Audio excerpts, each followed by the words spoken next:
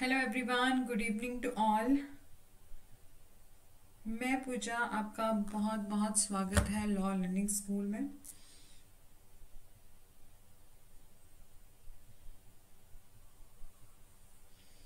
Audio video कहीं भी कोई प्रॉब्लम होगी तो बता दीजिएगा।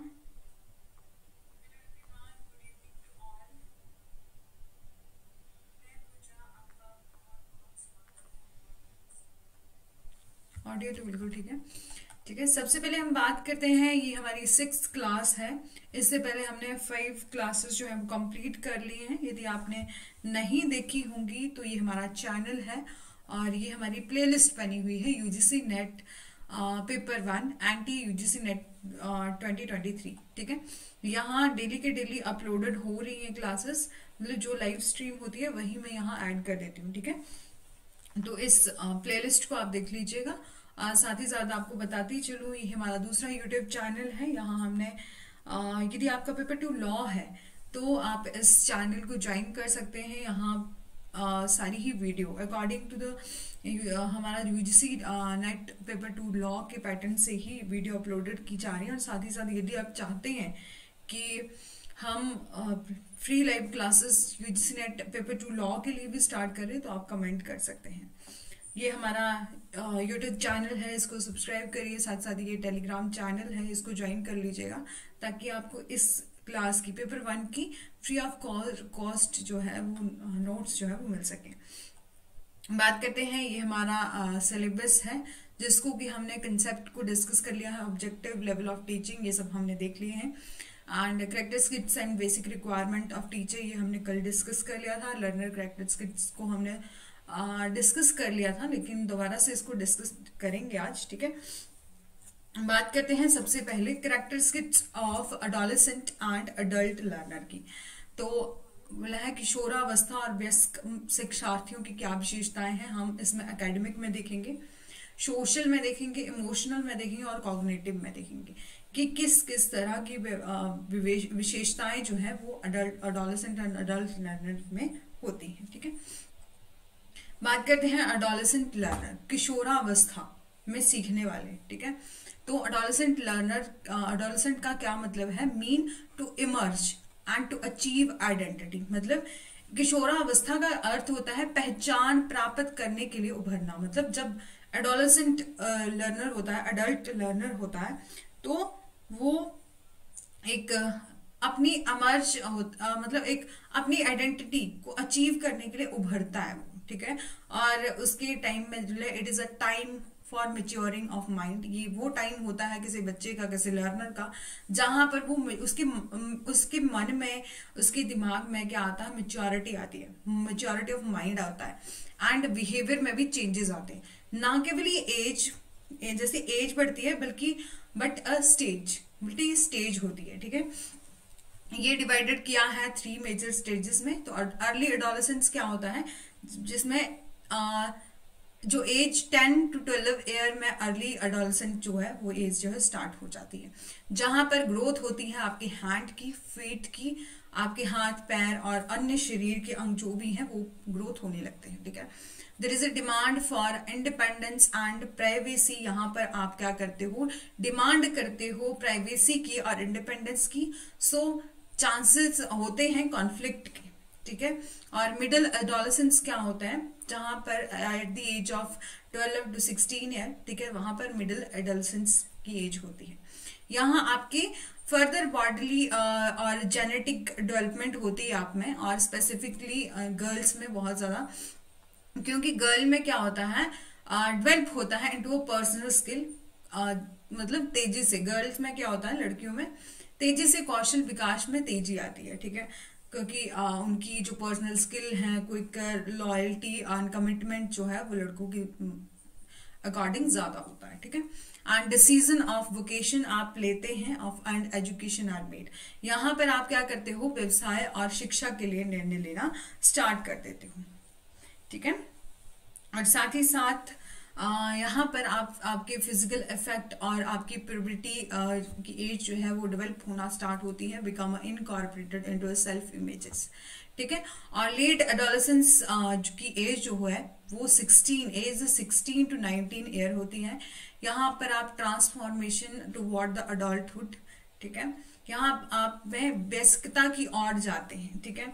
मतलब कि लेट एडोलेसेंट की एज जो है यहाँ आप करियर डिसीज़न लेते हो फाइनली आप अपनी ज़िंदगी में क्या अचीव करना है, क्या कुछ पढ़ना है, क्या बनना है, ये सब कुछ सीख लेते हो। यहाँ आप सोचने लगते हो, ठीक है? Child gradually turn to manly और न्यू फुटिंग ठीक है? बात करते हैं कुछ four stages of the adolescent age है। कहीं कहीं ये सब जो है, वो मैंने बुक से लिया हुआ है डाटा लेकिन ये जो अलग अलग डाटा है, वो अलग अलग बुक में डिफरेंट डिफरेंट है, ठीक है? तो इसकी प्री एडोलसेंट एज जो है, वो टेन टू ट्वेल्व है गर्ल्स में होती है। लेकिन बॉयज़ में उसकी अकॉर्डिंग थोड़ी सी लेट होती है इलेवन टू थर्टीन की, ठीक है? अर्ली एडोलसेंट की जो एज है, वो है ट्वेल्व टू सिक्सटीन और बॉयज़ में थर्टीन टू सेवनटीन है, ठीक है? लेट अडोलसेंट जो है, वो एज है गर्ल्स में sixteen to twenty one and boys में सेवनटीन टू ट्वेंटी वन ठीक है? बात करते हैं अडोलसेंट की जो एकेडमिक अचीवमेंट जो भी वो अपनी शिक्षा के क्षेत्र में कहाँ तक जाता है, क्या अकेडमिक अचीवमेंट होती है उसकी, इसकी बात करते हैं। तो adolescent spend more working time in school ठीक है? क्योंकि अडोलसेंट की एज में वो बच्चा जो है, वो ज़्यादातर टाइम जो है, वो अपना स्कूल में व्यतीत करता है। और academic achievement during the adolescent ठीक है? Academic achievement during the adolescent is a predicted by a interpersonal, parental or engagement and interpersonal interesting moment or institution factor. यहाँ पर जो भी जो भी एकेडमिक अचीवमेंट करता है अडोलेसेंस मतलब जो लर्नर जो है, जो बच्चा जो है, वो इस एज में क्या करता है? एकेडमिक अचीवमेंट जो भी करता है, वो प्रिडिक्टेड होती है। किससे? या तो आपके इंटरपर्सनल जैसे कि आपके पेरेंट्स जो हो गए और आपके आसपास के लोग हो गए इंटरपर्सनल जैसे कि आपके इंटरेस्टिक मोटिवेशन मतलब आपके अंदर की मोटिवेशन ठीक है, और इंस्टीट्यूशन के फैक्टर होते हैं, ठीक है? It's it can set the stages of for the for a future career opportunity यहाँ आप क्या करते हो, इस एज में आके भविष्य के करियर के अवसरों के लिए अपनी जो भी अपॉर्चुनिटी है जो भी स्टेज है आपको किस रास्ते में जाना है कि आपको आ, मतलब इस इस जब हमारी स्कूलिंग खत्म हो जाएगी तो आपको कौन सी लाइन में जाना है? कि आप मेडिकल फ़ील्ड में जाने जाना चाहते हो? क्या आप लॉ फ़ील्ड में जाना चाहते हो? ये सब जो है वो डिसाइड करते हो। मतलब sport game art and craft में भी ये are also play same some role ठीक है? यहाँ जो है स्पोर्ट्स का बहुत इंपॉर्टेंट रोल रहता है गेम का काफ़ी ज़्यादा इंपॉर्टेंट रोल रहता है आर्ट का काफ़ी ज़्यादा इंपॉर्टेंट रहता है क्राफ्ट का भी ये सभी चीज़ें जो है बहुत इंपॉर्टेंट रोल प्ले करती हैं। और माता पिता पेरेंट्स जो है, वो put greater effort during the stage यहाँ पर पेरेंट्स को बहुत ज़्यादा एफर्ट्स लगाने पड़ते हैं क्योंकि ये एज होती है बच्चे की ज़िंदगी संवरने की भी और बिगड़ने की भी, ठीक है? यही तो बोलते हैं ना कि जब बच्चा ग्रो कर रहा होता है मतलब इस एज में बच्चों की तरफ़ ध्यान देना चाहिए अदरवाइज़ बच्चे जो है वो बिगड़ जाते हैं, ठीक है? बात करते हैं सोशल चेंजेस की तो अडोलेसेंट जो है में फील करते हैं कुछ बैड कुछ गुड मतलब अलग अलग उनके जो भी फीलिंग है, वो बदलती रहती है कॉन्फ्लिक्ट होते हैं, उनकी वैल्यूज़ में चेंज होता है इमोशनल में चेंज होता है tension extreme attitude with industrialisation urbanisation and individualisation ठीक है? इसके कारण जो है बोले किशोर अपराध की घटनाएँ भी जो है, वो बढ़ जाती हैं, ठीक है? इस एज में आगे सोशल चेंजेस में हम देखते हैं कि अडोलसेंट की जो क्या सिचुएशन होती है तो वो कुछ बैड फील करते हैं, कुछ अच्छा फील करते हैं, कुछ कॉन्फ्लिक्ट होते हैं, उनकी वैल्यूज़ इमोशनल टेंशन इन सब में चेंजेस होते रहते हैं। और इंडस्ट्रियलाइजेशन अर्बन अर्बनाइजेशन और इंडिविजुअलाइजेशन के कारण जो है, वो जुबेनाइल डेलिक्वेंसी भी इंक्रीज होती है। मतलब किशोर अपराध जो है, वो वो भी इंक्रीज होते हैं। क्योंकि with fast growth and growth and structure bodily changes new attitude आते हैं toward ones and another raising awareness होती है, ठीक है? आप में क्या है? अवेयरनेस आती है, आपके राइट ड्यूटीज़ इन सभी के बारे में आपको पता चलता है एडोलेसेंट क्या है? इज़ अ ट्रांजिशनल पीरियड है, ठीक है? और बात करते हैं adolescent is affected by the following किस किस से अडोलिसेंट किशोरावस्था निम्नलिखित में से प्रभावित होती है किससे इफेक्टेड होती है? तो बोला है, यहाँ पर, इस स्टेज में आकर आप क्या करते हो? सर्च करते हो फॉर सेल्फ कंसेप्ट और सेल्फ आइडेंटिटी यहाँ आप क्या करते हो? खुद की पहचान जो है वो खोजने की कोशिश करते हो कि अपनी आप की कहते हैं ना कि अपने आप को, अपने आप के नाम बनाने की कोशिश करते हो, ठीक है? और यहाँ पर आप डिमांड करते हो for more independence to make decision ठीक है? यहाँ पर आप क्या करते हो कुछ डिमांड करते हो इंडिपेंडेंस की मांग करते हो आप पेरेंट्स से कुछ आ, मतलब आपको आज़ादी चाहिए होती है इंडिपेंडेंस चाहिए होती है ठीक है? और यहाँ पर आप थिंक करते हो मतलब सोचते हो more about the right value wrong value मतलब क्या सही है क्या गलत है इन सब चीज़ों के बारे में आप इस स्टेज में आके सोचने लग पड़ते हो, ठीक है? पेयर परसेप्शन जो है वो ये बहुत ज़्यादा बढ़ता है। सहकर्मी पेयर परसेप्शन होता है जो आपके साथ चाहे आप स्कूल में हैं तो आपके सहपाठी होंगे आप कॉलेज में हैं तो भी आपके जो आसपास के, आपके साथ जो रहते हैं पेयर परसेप्शन ऑल्सो इंक्रीज होता है। And they communicating in a different way through ना internet cell phone and social media बोला, है ये आपस में संवाद करने की कोशिश करते हैं, बातचीत करने की कोशिश करते हैं। चाहे आपके थ्रू द इंटरनेट हो सेल फ़ोन हो और सोशल मीडिया हो। बात करते हैं सोशल चेंजेस क्या है। वेरी सेल्फ कॉन्शियस है enjoy being with a friend मतलब so they stay longer with in the after with them after school पहले यहाँ पर आए बच्चे क्या करते हैं स्कूल के बाद इकट्ठे होते हैं और मतलब आपका फ्रेंड सर्कल जो है वो बढ़ जाता है इस एज में आके। अपनी पार्टीज़ एंजॉय करने लग पड़ते हैं, ठीक है? और फ्रेंड्स हु शेयर और फ्रेंड्स जो हैं वो एक दूसरे से अपनी बातें, अपने इंटरेस्ट ये सब जो है वो शेयर करने लगते हैं। अडोसेंट्स की क्या होती है? Who grow up with the family member showing love guidance and support for each other यहाँ पर अडोलेसेंट को बहुत ज़्यादा ज़रूरत होती है आपकी फैमिली मेंबर की प्यार की गाइडेंस की सपोर्ट की, ठीक है? And each other are less likely to get involve with bad company ताकि वो कहीं भी बैड कंपनी में इन्वॉल्व ना हो।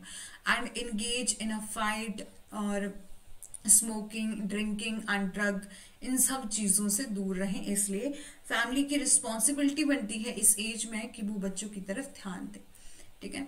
बात करते हैं इमोशनल एंड साइकोलॉजिकल डेवलपमेंट क्या है? तो बोला है, इस एज में आकर मूड स्विंग्स होते हैं। मतलब बच्चे के जो लर्नर है, उसकी मूड जो है, वो चेंज होने लगते हैं। And mark by the peak of the intensity and by unpredictability ठीक है? और नीडी होते हैं वो नीडिंग टू रिलीज़ एनर्जी यहाँ पर उन्हें अपनी एनर्जी को रिलीज़ करने की ज़रूरत होती है with sudden obstruct of activity कुछ एक्टिविटी uh, करके ठीक है? वो डिज़ायर होते हैं ठीक है? To become independent and to search for adult identity यहाँ पर क्या होता है? कि एक लर्नर जो है वो क्या करता है? इंडिपेंडेंट होता है और वो सर्च करता है फॉर अडल्ट आइडेंटिटी को और एक्सेप्टेंस को। सेल्फ कंसाइसनेस होती है and being sensitive and personal criticism की यहाँ पर बात आती है। Concern about physical growth and maturity ये क्या करते हैं इनमें क्या होता है? शारीरिक विकास और परिपक्वता मतलब मेच्योरिटी की इन्हें टेंशन होती है और ये सोचते हैं कि अपना जैसे अपनी चाहे फ़िज़िकल तरीके से, चाहे मेंटल तरीके से, इनमें अपने आप में ही ग्रोथ होना जो है वो स्टार्ट हो जाती है। I believe that a personal problem वो अपनी पर्सनल प्रॉब्लम में भी, बोला है। बिलीव करते हैं feeling experience and unique of themselves और ओवर रिएक्ट करते हैं ये। मतलब कहीं भी, कोई उनकी बेजती कर दे इंसर्ट कर दे तो यहाँ पर उनको फील होना जो है, वो स्टार्ट होता है at the age of the adolescent age ठीक है? और यहाँ पर आपको ध्यान देने वाले जो व्यवहार वाले साथियों और अन्य लोगों की, जो अटेंशन की यहाँ पर ज़रूरत होती है। ठीक है? ये था इमोशनल एंड साइकोलॉजिकल डेवलपमेंट मतलब भावनात्मक और मनोवैज्ञानिक विकास किस तरह से होगा एट एज जब आप अडोलसेंट की एज में है तो।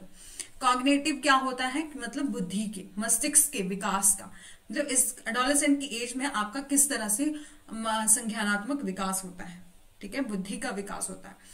तो कॉग्नेटिव डेवलपमेंट जो है वो रेफर करती है मेंटल एक्टिविटी ठीक है? यहाँ पर है मेंटल एक्टिविटी को रेफर करती है that enable to individual and to adjust to environment while the mental development refer to intelligence thinking और इमेजिनेशन अबाउट द एनवायरमेंट यहाँ पर क्या होता है? जो लर्नर है, वो अपने कॉग्नेटिव डेवलपमेंट के कारण अपने एनवायरमेंट के बारे में सोचने लगता है। साथ ही साथ वो अपनी जो भी इंटेलिजेंस है थिंकिंग है इमेजिनेशन है, उनको बोला है रेफर करता है, उनके बारे में सोचता है, ठीक है?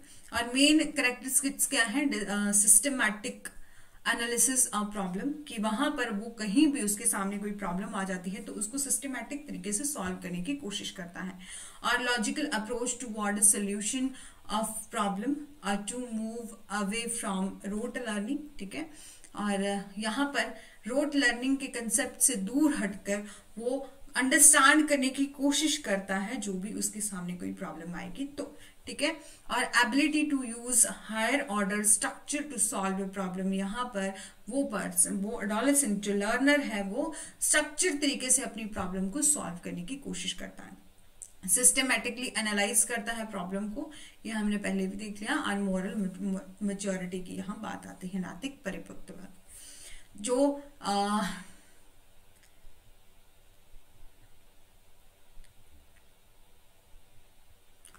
एक प्यागेट है, जिन्होंने मेंशन किया है कुछ stages for the cognitive development मतलब आपकी बुद्धिमत्ता के विकास के लिए की कुछ स्टेजेस बताई हैं। एक तो सेंसरी पीरियड होता है ज़ीरो टू टू ईयर ठीक है? कि सेंसरी पीरियड होता है कि यहाँ पर बच्चा जो है अपनी भूख, प्यास, इन सभी चीज़ों को मतलब सेंसरी अपनी सेंसरी ऑर्गन से पता लगाता है। और प्री ऑपरेशनल पीरियड क्या है? Age of the two and two to seven ठीक है? एज टू टू सेवन आप क्या करते हो? प्री ऑपरेशनल पीरियड में होते हो। कंक्रीट ऑपरेशन पीरियड होता है सेवन टू इलेवन और फॉर्मल में होता है फॉर्मल ऑपरेशन पीरियड है इलेवन टू फिफ्टीन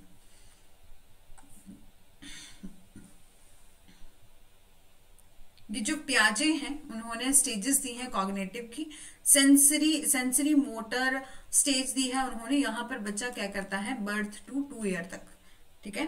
यहाँ पर कि यदि उसको प्यास लगी है तो वो खुद से बोले है पानी पीने के लिए उसको इशारे करता है कि मेरे को पानी पीना मतलब यहाँ अपनी सेंसरी ऑर्गन से।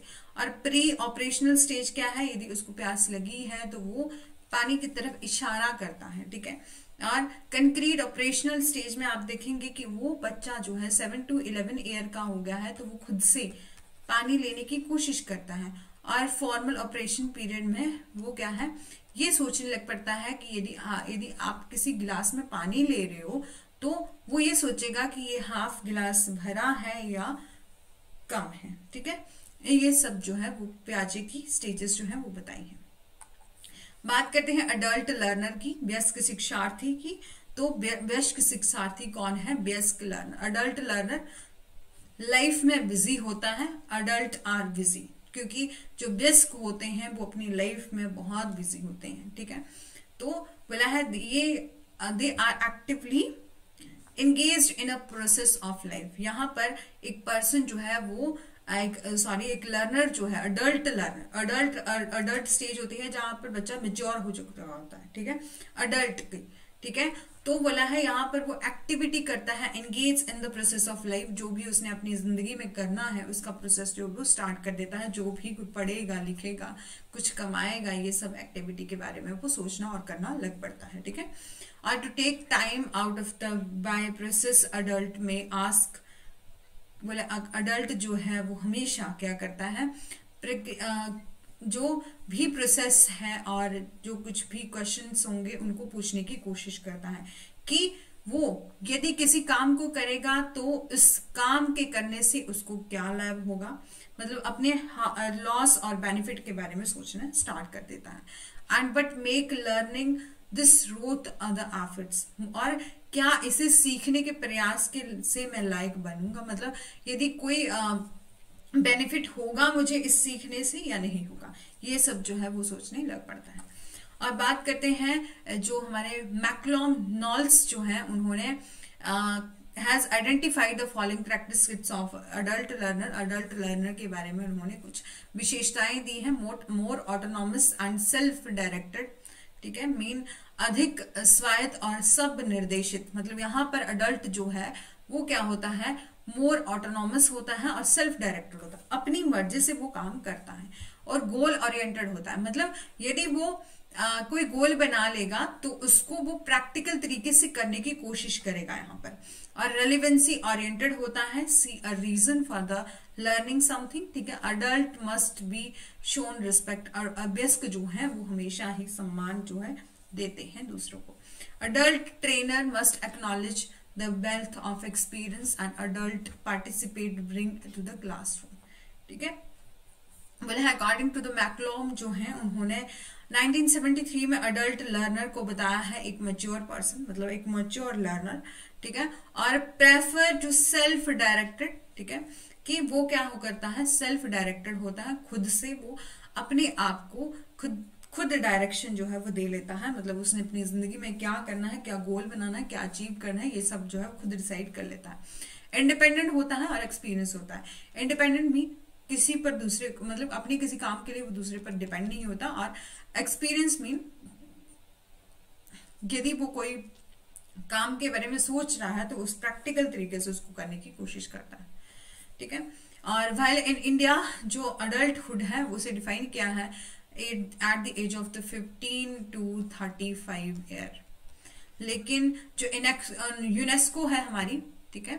And organisation of economic corporation and development उन्होंने डिफाइन किया है age is are twenty four to sixty five years adult की एज जो है वो बताई बेस्क तक ठीक है?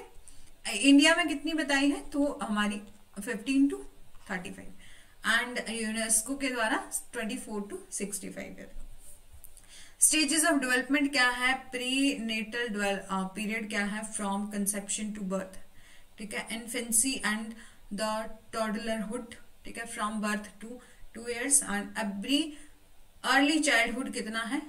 At the age of two to six year ठीक है मिडिल चाइल्डहुड क्या है? Six to eleven year adolescence कितना है? हमारा इलेवन टू ट्वेंटी ईयर कहीं कहीं हमने जैसे लास्ट में देखा तो eleven to twenty one year था, ठीक है? अर्ली अडल्टहुड कितना है? Twenty to forty middle adulthood is a forty to sixty late adulthood मतलब कि आप बूढ़े हो जाते हैं जब लेट अडल्टहुड सिक्सटी ईयर्स ठीक है? अडल्टहुड अडल्ट एजुकेशन जो है वो बेस करती है फिलॉसफी जिसे कहते हैं फिलोसफी कॉलिंग एंट्रागोजी जब हम अडल्ट को पढ़ाते हैं अडल्ट एजुकेशन के बारे में बात करते हैं तो उसे एंट्रागोजी कहते हैं। जब हम जो छोटे बच्चे होते हैं पैडागोजी उसको बोलते हैं पैडागोजी ठीक है? एंट्रागोजी में आप अडल्ट को लर्नर के बारे में एजुकेशन देते हो मतलब अडल्ट एजुकेशन की बात करते हो और पेडागोजी में आप छोटे बच्चों के बारे में बात करते हो। Adult education is a basis of philosophy is called andragogy and that is art and science is helping adult कि वो क्या है वयस्कों को सीखने में मदद करने की एक कला और विज्ञान है। The guiding principle of the adult learning aim at bringing changes in what people know ठीक है? यहाँ पर क्या होता है कि जो अडल्ट लर्नर है, उसके कुछ एम होते हैं कि लोगों को जो पता है, उसमें परिवर्तन। कि अडल्ट एज में आके जो उन लोगों को पता है, उनको उनमें चेंज आता है। ठीक है? और changes in what can do and changes in what people think changes in what people actually do ठीक है? और क्या लोग जो है वो एक्चुअली करना चाहते हैं। जो अडल्ट है, उसे एक्सपीरियंस एक्सपीरियंस लर्नर कहा गया है। और एक person acted let's growth wealth of experience and that is जो यूज़ होता है make sense of the environment adult may know more than a teacher यहाँ पर जो अडल्ट है, वो क्या करता है, धन जमा करता है मतलब वेल्थ इकट्ठा करता है, ठीक है? और उसका प्रयोग करता है प्राइवेट इन्वायरमेंट को समझता है और एक व्यस्क जो है, वो अधिक, व्यस्क शिक्षक से अधिक जान सकते हैं, ठीक है? करेक्टरिस्टिक्स क्या क्या है अडल्ट लर्नर की?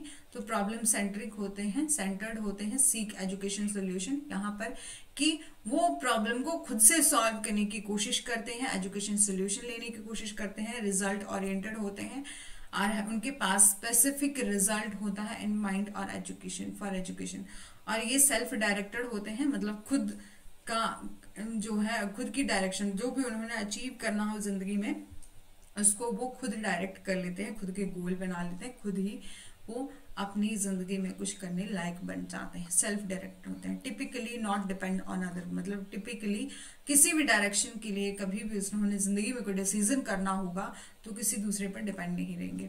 ऑफन जो अबाउट द न्यू इंफॉर्मेशन ठीक है, कि वो क्या करते हैं, अक्सर नई जानकारी जो है वो इकट्ठा करते हैं, नई जानकारी में संदेह करते हैं, ठीक है, और प्रेफर करते हैं try out it out before accepting it मतलब जब भी कोई उन्हें इंफॉर्मेशन मिलेगी तो वो उस, उसके बारे में जान परख करके ही उसको एक्सेप्ट करेंगे, उस इंफॉर्मेशन को सच मानेंगे। सीख करते हैं education that relate to apply मतलब ऐसी एजुकेशन की तलाश करते हैं जो सीधा ही उनके जीवन में अप्लाई हो, ठीक है? और perceive need and that is timely to appropriate for their current live ठीक है? एक्सेप्ट करते हैं रिस्पॉन्सिबिलिटी फॉर ओन लर्निंग ठीक है? और वो क्या करते हैं, स्वयं सीखने के लिए ज़िम्मेदारी स्वीकार करते हैं यदि सीखने को समय पर और उपयुक्त माना जा सके, ठीक है? मतलब एक लर्नर को बोला है, एक जो लर्निंग है उसको समय पर टाइम पर और अप्रोप्रिएट जो है वो माना जा सके तो वो क्या करते हैं, सीखने की कोशिश करते हैं। ये प्रैक्टिस किट्स हैं ऑफ़ लर्निंग ठीक है? प्रैक्टिस किट्स ऑफ़ लर्निंग है ऑटोनॉमस एंड सेल्फ डायरेक्टेड होते हैं लाइफ में एक्सपीरियंस होते हैं और उनको नॉलेज होता है बहुत ज़्यादा। ठीक है? और गोल ओरिएंटेड होते हैं, अपना गोल वो खुद बना लेते हैं रेलिवेंस ओरिएंटेड होते हैं प्रैक्टिकल होते हैं। मतलब यदि उनको प्रॉब्लम दिखाई दे रही है, वो खुद से सॉल्व करने की कोशिश करेंगे।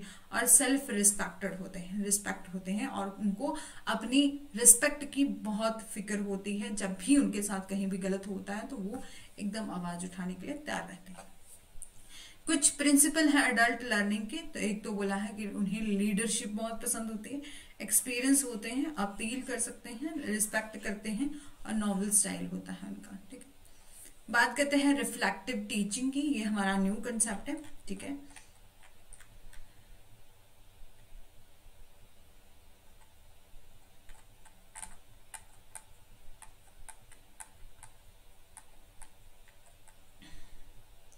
बात करते हैं रिफ्लेक्टिव टीचिंग की तो रिफ्लेक्टिव टीचिंग क्या है? एक ऐसा प्रोसेस है जहाँ पर टीचर क्या करता है? थिंक करता है over the teaching practical analyse करता है and how something was thought and how practice might be improve मतलब वहाँ पर शिक्षक जो है वो टीचिंग मतलब रिफ्लेक्टिव टीचिंग में टीचर जो है वो, अध्यापक जो है, शिक्षक जो है वो क्या करता है? थिंक करता है। सोचता है जो भी उसकी टेक्निक टीचिंग प्रैक्टिस है और एनालाइज करता है something and was doubt and how to practice might be improve और किस तरीके से वो अपनी प्रैक्टिस को जो भी वो टीचिंग कर रहा है, उसको इम्प्रूव कर सके और किस उसको बहुत सुधार लगाया लाया जा सके। ये बात होती है रिफ्लेक्टिव टीचिंग में। यहाँ पर बेसिकली एक सिंपल सा वर्ड समझेंगे कि यहाँ पर टीचर क्या करता है, सोचता है कि किस तरीके से, किस तरीके से मैं क्या करूँगा इम्प्रूव करूँगा अपनी टीचिंग के स्टाइल को ताकि बेटर लर्निंग आउटकम जो है वो मिल सके, ठीक है? It mean to look at and what what you do in a classroom यहाँ पर आप सोचते हैं कि आपको क्लासरूम में क्या करना है। आप क्लासरूम में क्या करते हैं, ये इस बारे में आप सोचते हैं। And thinking about if it work process of the self observation and self evaluated यहाँ पर आप क्या काम करते हो कि यहाँ पर आप आप क्या करते हो? सेल्फ ऑब्ज़र्व करते हो और सेल्फ इवेल्युएशन जो है वो करते हैं कि यदि कहीं कमी रह गई है तो उसमें सुधार करने की कोशिश करते हैं ताकि बच्चों को अच्छे तरीके से समझ में आ सके। और पर्पस क्या है? पर्पस ऑफ़ डूइंग क्या है? Is to improve the quality of learning यहाँ पर एक आपका क्या उद्देश्य होता है, क्या पर्पस होता है कि इम्प्रूव करना क्वालिटी ऑफ़ एजुकेशन ठीक है? मतलब आप जो है, जो भी, जब भी क्लासरूम में जा रहे हैं तो आप एक ऐसा ऐसा कंटेंट मटेरियल और मतलब सब कुछ आपका बेस्ट होना चाहिए जिससे आप क्वालिटी ऑफ़ टीचिंग को इम्प्रूव कर सके। इन जर्नल हम कह सकते हैं रिफ्लेक्शन इन्वॉल्व करता है working toward a better understanding and of problem and why it solving it कि यहाँ पर आप समस्याओं की बेहतर समझ और इसे हल करने के तरीके के बारे में सोचते हैं। और रिफ्लेक्टिव टीचिंग क्या है? Is also seen an attitude of the questioning and practice of the teaching a teacher profession, ठीक है? यहाँ पर आप क्या करते हो? रिफ्लेक्ट रिफ्लेक्टिव टीचिंग में मतलब चिंतनशील में। चिंतनशील मतलब आप क्या कर रहे हो? सोच रहे हो, क्या? कि ये सोच रहे हो कि किस तरीके से मैं अपना, अपने आप को इम्प्रूव करूँगा अपनी जो भी प्रैक्टिस है, चाहे वो क्लासरूम में है, जिससे जो लर्निंग आउटकम है, वो किस तरह से अच्छा मिल सके, किस तरीके से मैं अपने आप में सुधार करूँ, ये जो है रिफ्लेक्टिव टीचिंग में आता है। यहाँ पर क्या है रिफ्लेक्टिव टीचिंग में शिक्षण चिंतनशील शिक्षण में जो भी टीचर होगा टीचर के, जो शिक्षक के पेशे के अभ्यास पर सवाल उठाने के दृष्टिकोण के रूप में भी देखा जाता है।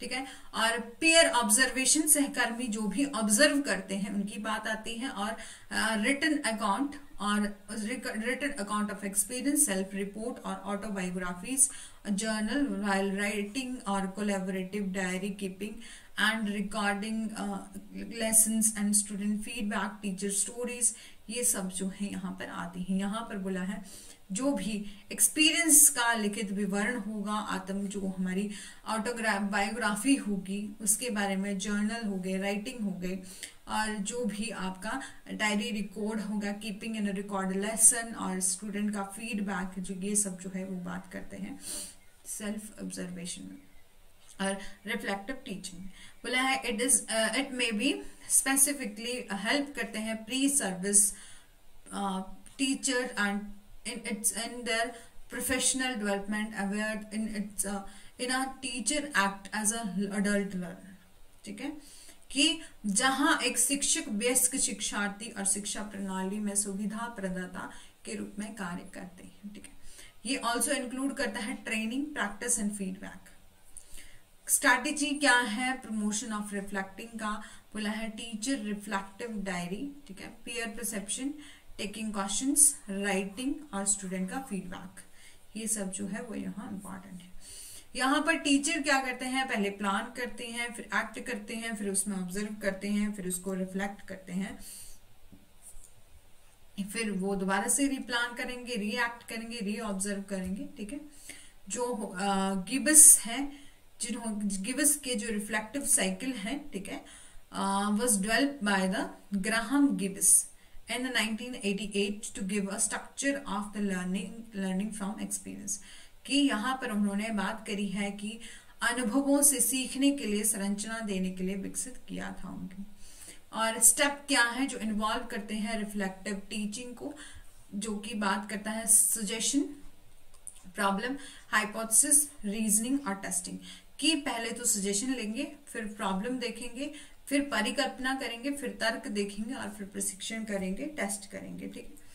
रिफ्लेक्टिव टीचर के कुछ मोड भी हैं। यहाँ पर knowledge of pedagogy knowledge of self जो है नॉलेज ऑफ़ स्टूडेंट है knowledge of school knowledge of curriculum की बात यहाँ पर आती है। और करेक्टरिस्टिक्स हैं रिफ्लेक्टिव टीचिंग के, जहाँ पर रिफ्लेक्टिव टीचिंग के कुछ करेक्टरिस्टिक्स दिए गए, ठीक है? और बेनिफिट भी हैं कि enable the teacher to act deliberate manners ठीक है? यहाँ पर बोला है, यदि टीचर अनेबल है, तब भी एक्ट करेंगे डेलिबरेट मैनर में।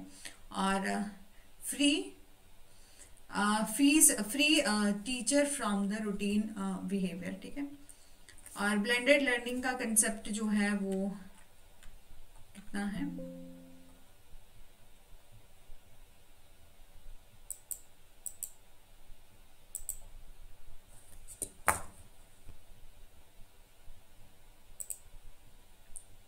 One second.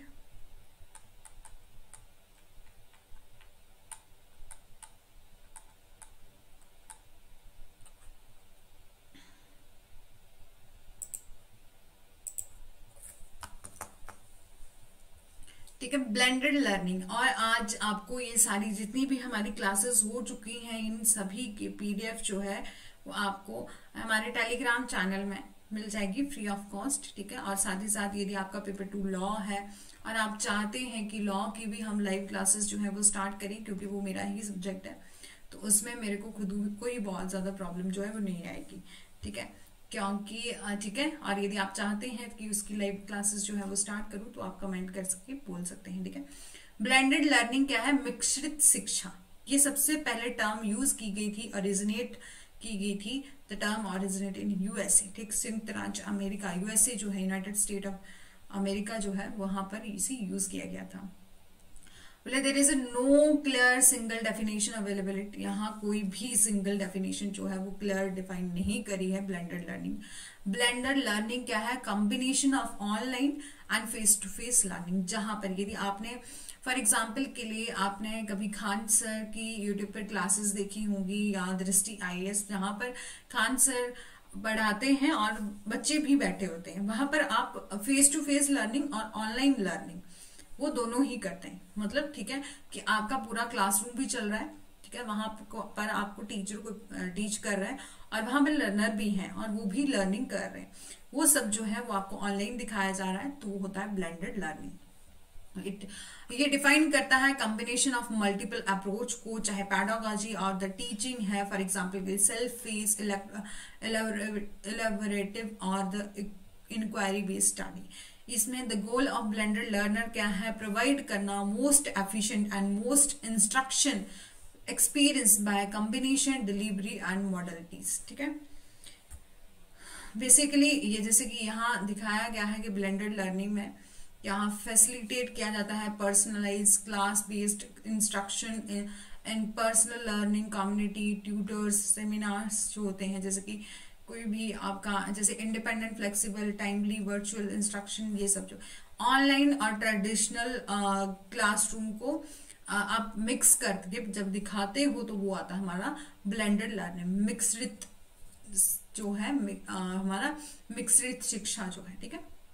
जैसे कि यहाँ क्लासरूम टीचिंग भी है, चल रहा है क्लासरूम ये पूरा क्लासरूम है और ये ऑनलाइन भी है। और जब यहाँ ब्लेंडेड का आता है मतलब यहाँ पर ऑनलाइन और क्लासरूम दोनों का ही कंसेप्ट आता है तो वो आता है ब्लेंडेड लर्निंग ठीक है?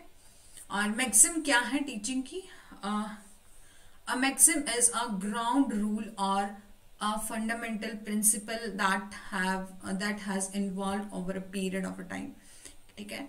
और हमारी मैक्सिम क्या है बोला है टीचर की मैक्सिम uh, क्या होती है teacher teaching refer to the technique मतलब कौन सी टेक्निक है जो रेफर की जा रही है teaching use by the teacher जो टीचर है जब वो अब टीच कर रहा है जब वो अध्यापक जो है वो पढ़ा रहा है तो कौन सी टेक्निक जो वो इस्तेमाल कर रहा है उसको यूज़ कर रहा है ये बात करते हैं हमारे मैक्सिमम ऑफ़ टीचिंग जैसे कि फ्रॉम सिंपल टू कॉम्प्लेक्स कि यदि आपको कोई टॉपिक आपको कोई भी टॉपिक समझाना होगा किसी टीचर ने तो पहले वो सिंपल पढ़ाएगा, ठीक है? जैसे आप खुद सोचो कि जब हम छोटे हुए थे, जब हम मेमोरी जो मेमोरी लेवल ऑफ़ टीचिंग में थे मतलब आप बिल्कुल छोटे बच्चे थे, जब आपको जैसे कि काउंटिंग ही सिखाई थी तो पहले आपको टेन मतलब आपको टेन थोड़ी बता दिया था। सबसे पहले तो आपको वन बताया, फिर टू बताया थ्री बताया। इसी तरह से यदि आपने टू का टेबल याद करा होगा, सबसे पहले आपको टेन का टेबल या ट्वेल्व का टेबल ही थोड़ी ना बता दिया। पहले तो आपको टू का टेबल याद करवाया, फिर थ्री का टेबल याद करवाया। ऐसी तरह से जो है, बोला है कि सिंपल टू कॉम्प्लेक्स की बात करते हैं, जहाँ पर जो टीचर है वो स्टार्ट करता है with simple think of idea ठीक है? And these can be done with day day to day example और टीचर जो है वो क्या करता है पहले तो सिंपल से कम्प्लेक्स uh, की तरफ़ जाता है और कुछ आइडियाज़ लेता है कुछ तरीके और कुछ day by day day to day जो भी एग्ज़ाम्पल जो रियल लाइफ ज़िंदगी में यूज़ किया करता है उसको यहाँ पर यूज़ करता है। इफ़ पॉसिबल है तो ठीक है?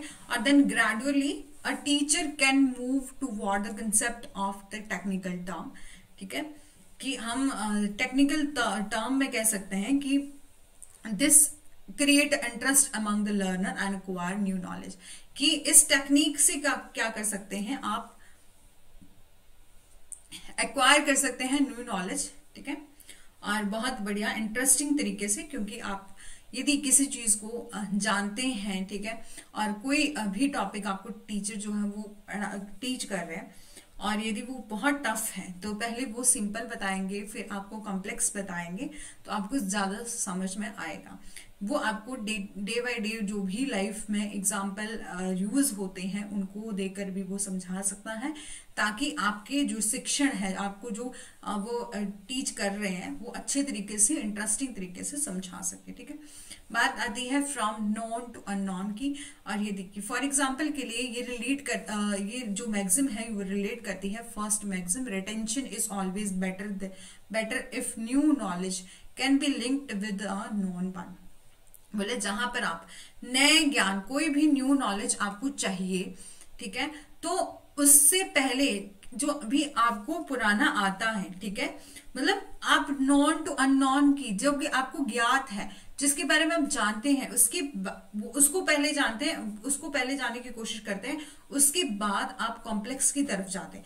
यहाँ पर बोला है टीचर जब भी आपको, आप, आपको क्लास देगा मतलब आपका अपना लेक्चर देगा तो आपको पहले वो बताएँगे जो आप जानते हैं। और उससे लिंक करके आपको अननॉन की तरफ़ जो है वो लेके जाएँगे। ठीक है? और फ्रॉम सीन टू अनसीन जैसे कि आपने कुछ देखा है आपको फॉर एग्ज़ाम्पल के लिए, बोला है कि आप कभी आप आपने कभी जो है वो जैसे कि आप ऊँट को नहीं देखा है ठीक है? तो आपको किसी आ, किसी ने भी बता दिया कि ऊँट क्या सा होता है बहुत लंबा सा होता है उसकी लंबी लंबी टांगे होती हैं और उसके पीठ पर थोड़ा सा कुबड़ होता है और ऐसा का बोला है। ये सब जो है वो आपको बता दिया। तो आप क्या करेंगे? कभी भी आपने उस चीज़ को नहीं देखा लेकिन आपको किसी ने बताया है कि ऐसा ऐसा जो है ऊँट होता है तो आप जिस चीज़ को नहीं जानते हैं, उसको भी उस तरीके से क्या करेंगे, जाने की कोशिश करेंगे। पहले तो आप उससे रिलेट करेंगे कि आप, आपको क्या, आप आप किस चीज़ के बारे में जानते हैं और किसके बारे में नहीं जानते। ठीक है? यदि आपको किसी ने बता दिया तो आप उससे लिंक करेंगे। कि यदि आप कहीं जा रहे हैं तो आपको कहीं दिख जाए तो ऐसा ऐसा मेरे को किसी ने कहा था तो ये जो वो चीज़ हो सकती है, ठीक है? वहाँ पर आप सीन टू अनसीन देखा अदृश्य और अदृश्य के बारे में देखते हैं मतलब टीचर जो है कभी भी आपको पढ़ाएगा तो वो आपको पहले ये बताएगा कि आपने वो चीज़ देखी है तो उसी के बाद वो उससे अगला कंसेप्ट जो है वो समझाने की कोशिश करेंगे, ठीक है? सीन टू अनसीन की यहाँ बात करी है कि जब भी स्टूडेंट क्या should be impart knowledge about the present and then they can understand the past और फ्यूचर बोले है, जब वो प्रेजेंट के बारे में जानता होगा, आज के बारे में जानता होगा, तभी तो वो भविष्य और अतीत के बारे में जानेगा. ठीक है? इसीलिए बोला है फ्रॉम सीन टू अनसीन का कंसेप्ट जो है वो आता है. ठीक है?